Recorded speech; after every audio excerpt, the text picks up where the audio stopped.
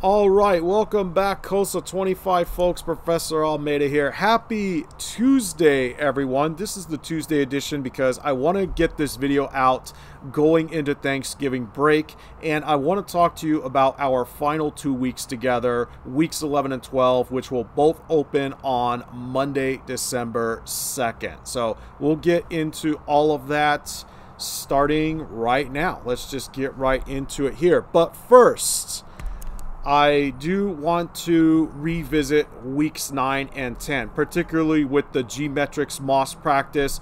I know that some of you have had a chance to start already, but you don't want to leave things for the last minute. If you haven't done so, get into G-Metrix and start practicing. Your score results for skill review 1 and 2 are required and I want to take a moment to show you the assignments themselves. So here's skill review one, and the reason why I want to show you this is because some folks are not following directions, okay?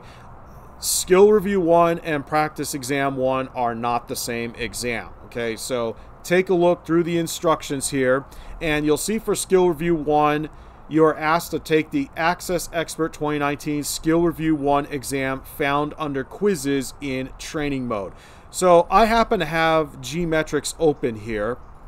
And let me show you where to find your exams. And this is, of course, assuming that you have created an account in G-Metrix, you've redeemed your access code, and you have downloaded the G-Metrix SMS software onto your system. So I'm going to scroll down and you're going to find access under Microsoft Office 2019. And the reason for this is because Microsoft and Certiport have not released a recent version of the MOS Access Expert. So we are still on 2019 here.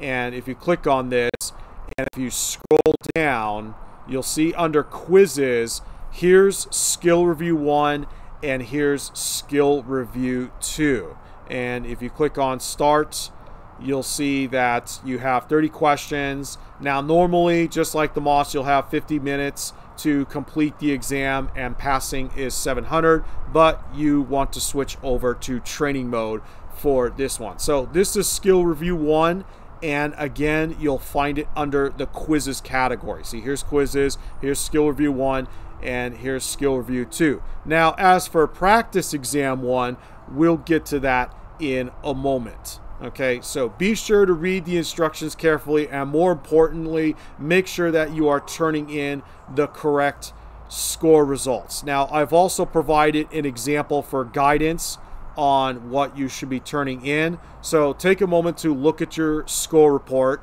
You'll see an example here. Your name should be clearly displayed the exam and mode should be clearly displayed along with the score. Now, to save your score reports, and I happen to have skill review 1 here, you'll see this three dot menu. Click on score report. And here it is. So you'll see that I've gone through, I've completed skill review 1. As a matter of fact, I was testing this in the COS computer lab yesterday. I know there was at least one COSA 25 student there uh, watching me do this. So to save your score report, you're going to click on this printer icon and then you're going to choose save as PDF as your printer. This is the same whether you're using Edge or Chrome, and then you're going to choose save. You'll be asked where to save this score report. And again, do take a moment to check, make sure your name is there, make sure it's the correct exam. In this case, Skill Review 1 training. You can see your score. And I need to see all of this, by the way, okay? So make sure that you are saving this as, saving this as a PDF. Um, if you try to take a screenshot or a picture from your phone, this is not the same thing, and there's a very good chance that I'm not going to accept your submission. Okay, so make sure that you follow the instructions carefully and be sure to ask questions and don't wait until the last minute. Okay, so that is it as far as skill review 1 and 2 are concerned. So let's go back to modules here and talk about how we're going to close out this course. So for week 11, starting on Monday, December 2nd, chapter 10 is on customizing access and using OneDrive and Office Online. And you'll see for chapter 10, you only have the training sim, the sim book, right? That's all you have. And then you have one last G-Metrix exam, and that is practice exam one. Taking a look at the instructions here, you will take the Access Expert 2019 Practice Exam 1 found under Practice Exams in either training or testing mode. So I am giving you the option here, but if you do pass your exam with a score of 850 or better in testing mode, I will award an additional 10 extra points for this assignment. So if we go back to G-Metrix here, under Practice Exams, you'll see here's Practice Exam 1, and you can choose between training or testing. I would start with training mode just so you get a feel for the exam.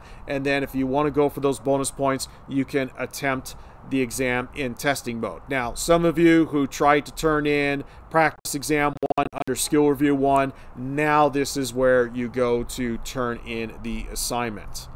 Okay, so let's make sure that we are turning in the correct exam results here. And if you don't follow directions, and you know the deadline passes it's going to be zero out of a hundred okay? So again please double check what you're submitting.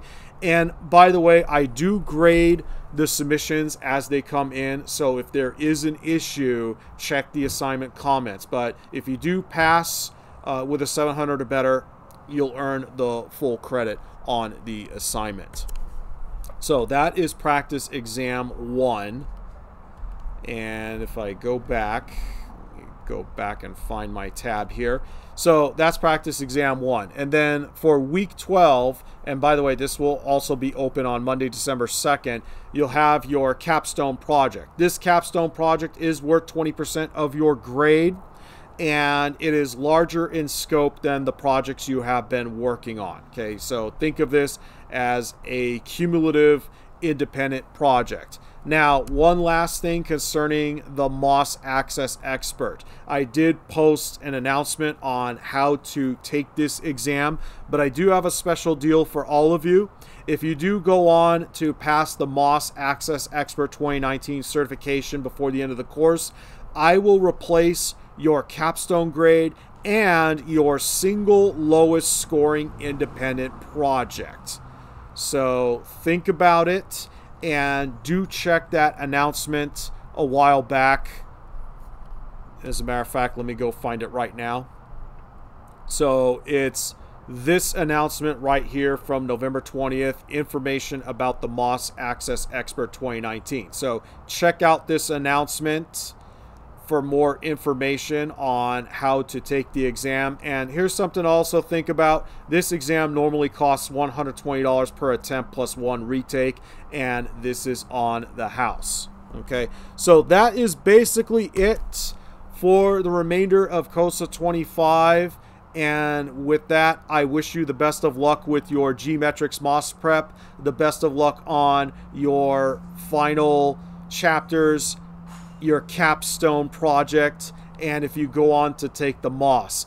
I do wish all of you well in your future endeavors. Have a happy Thanksgiving. Enjoy your break. Let's finish this course strong. I will be checking in with all of you periodically as we start to wrap things up. And with that, take care of yourselves out there, and I hope to see you around. Thanks for watching.